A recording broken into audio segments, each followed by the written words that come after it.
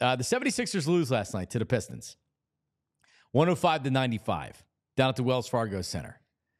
They were behind by 20 points with, I think it was three minutes and some odd seconds left to go. So they were actually in the fourth quarter trailing the Pistons by 20 points. The Pistons won 14 games last year. And they were trying. That's the, like when the Sixers were terrible, they were trying to lose games. The Pistons were trying to win games last year. You could only manage 14 wins. They were 0 4 entering the game last night, and um, yeah, they they the whole second half. The Sixers made a little bit of a surge to try to get it closer. Game was over. It was a brutal game, terrible game. I'm not going to spend a lot of time on it because if you look at that roster, and I'll, just like the Sixers last last night, Martin, Drummond, Lowry, Maxey Oubre. When Oubre shots five, shoots five for 14 and Martin shoots two for 10, Kyle Lowry is is he looks like he's 48, not 38, and he's had a great career.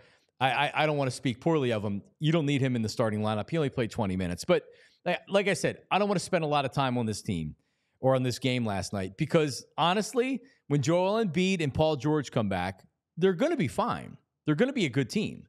Are they going to win a championship? I don't think so, but they'll be a good team. So, spending too much time on what happened last night during the game, even though it was the lowly Pistons, even though the, the Sixers should be able to beat the Pistons on their home court with the roster that they've assembled. Daryl Morey should be able to assemble a roster that can beat the Pistons last night. They didn't do it. I'm not going to spend too much time on it. They lost.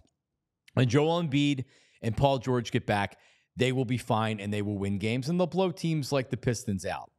Uh, the problem is the 76ers continue to commit unforced errors when it comes to this Joel Embiid injury stuff. Because honestly, I don't think anybody cares about the injury. I don't think anybody would have cared about the injury. But the Sixers very strangely continue to, with this very strange behavior. We